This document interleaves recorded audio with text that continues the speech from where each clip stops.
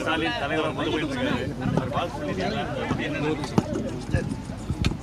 அதான தலைவராக இப்போ தானே அவங்க கட்சியில் அவங்க செயல்பாடு அரசியல் ரீதியாக தேர்தலில் எப்படி செயல்படுறாருங்கிறத தமிழ்நாட்டு மக்கள் பார்ப்பாங்க.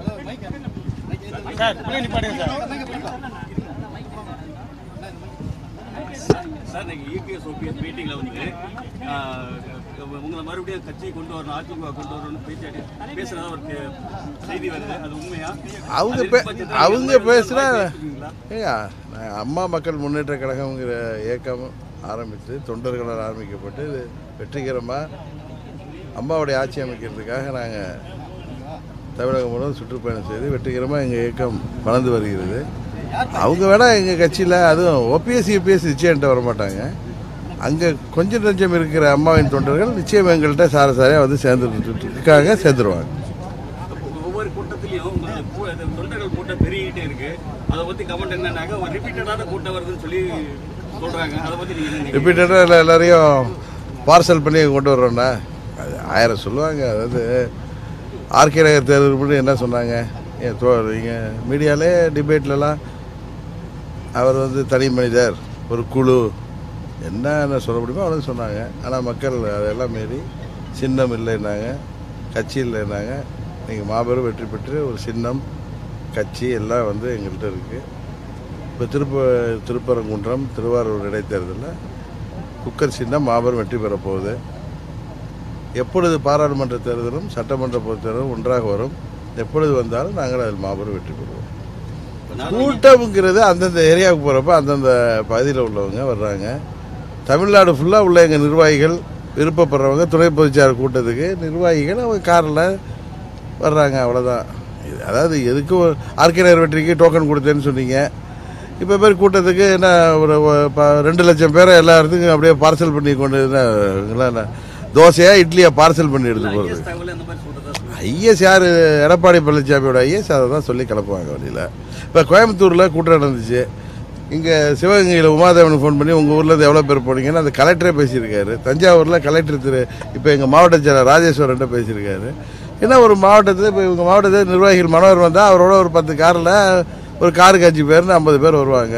எங்கள் நிர்வாகிகள் தமிழ்நாடு ஃபுல்லாக வந்தாலும் கார்களில் வந்தாலும் ஒரு ஆயிரம் பேர் ரெண்டாயிரம் பேர் வருவாங்க ஒரு கூட்டத்துக்கு. மற்ற கூட்டம்லாம் எங்கே சிலோரில் தான் கொண்டு வந்திருக்கோம். எல்லாம் தமிழ்நாட்டில் தான் வராங்க. பாலங்கள் சீரமைப்பதில் தொய்வு ஏற்பட்டிருக்கு. அதை பத்தி உங்க கருத்து தான். பாலங்கள்? பாலங்கள் சீரமைப்புல தொய்வு ஏற்பட்டு அதுக்காக இது- பாலங்கள் சீரமைப்பு பாலங்கள் வந்து சரியா சீரமைக்கப்படாம தொன்மையான பாலங்கள் வந்து சீரமைக்கப்படாம இருக்குது.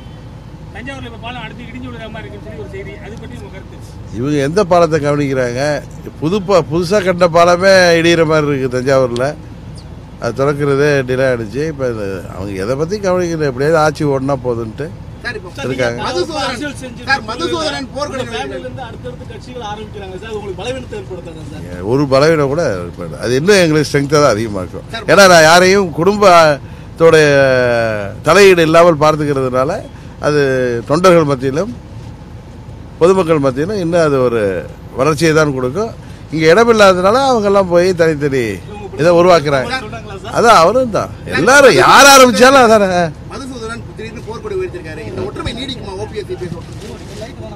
இது நெல்லிக்காய் கூட்டம் மாதிரி அங்கே சேர்ந்துருக்கு. இந்த பவருக்காக சேர்ந்துருக்காங்க. ஆட்சி அதிகாரம் ஆட்சி அதிகாரம் போனால் எல்லாம் நெல்லிக்காய் மூட்டை மாதிரி சிதறி போயிடுவாங்க.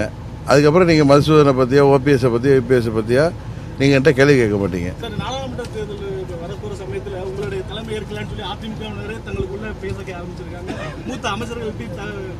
எனக்கு அது மாதிரிலாம் தெரில வெறும் யூகங்களுக்கெல்லாம் பதில் சொல்லல. கொஞ்சம் நெஞ்சம் அம்மாவுடைய தொண்டர்களை தொண்ணூறு சதவீதத்துக்கு மேலே எங்கள் கூட இருக்காங்க. மீதி இருக்கிற தொண்டர்களும் நிர்வாகிகள் பல பேர் இந்த ஆட்சி அதிகாரத்தினால இருக்கிற பலனுக்காக அங்கே இருக்கிறவங்களாம் எங்கள்கிட்ட வந்துடுவாங்க இந்த அமைச்சர்கள் என்கிட்ட வரமாட்டாங்க. ஏன்னா அவங்க செய்த துரோகத்துக்காக பயந்துட்டு நிச்சயம் எங்கள்கிட்ட வரமாட்டாங்க.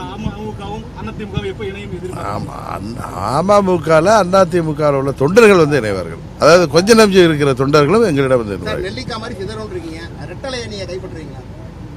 அதாவது அதிமுகவும் ரெட்டையிலையும் இன்றைக்கு துரோகிகளிடம் யாரோ செய்த சதியால் இவர் அடிகள் அடிமைத்தனத்தால் அது பரிசாக கொடுக்கப்படுத்தியிருக்குது விரைவில் இவர்களுடைய ஆட்சிக்கு முடிவு வந்ததும் ஆட்டோமேட்டிக்காக அம்மா மக்கள் முன்னேற்ற கழகத்தில் அண்ணா திராவிட முன்னேற்ற கழகத்தை நாங்கள் இணைச்சிடுவோம்.